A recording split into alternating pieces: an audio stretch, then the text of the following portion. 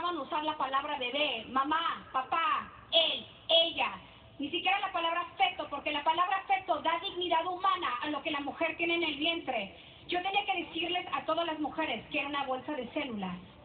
And it was after I assisted the first abortion that I grabbed the bag that was attached to the vacuum, the machine, and I thought that I would look for a sack of tissue.